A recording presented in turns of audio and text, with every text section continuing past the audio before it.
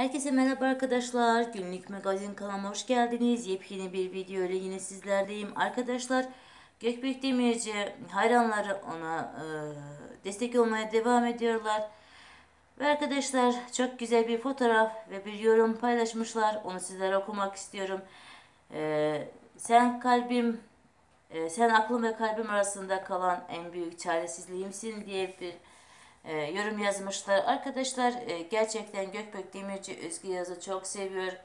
Bunu kendi sosyal medya hesabından onunla olan fotoğrafların silmemesi e, gösteriyor arkadaşlar. Bildiğiniz gibi Özge Yaz'da Gökbek Demirci ile Yemin dizisinde olan e, bir fotoğrafını silmemiş. Arkadaşlar bir umut var. E, güzel çiftimiz yeniden bir arada olacak. Barışacak arkadaşlar. Her şey daha da güzel olacak. Arkadaşlar eğer videomu beğendiyseniz beğen butonuna basmayı ve kanalıma abone olmayı unutmayın. Sağ olun görüşürüz.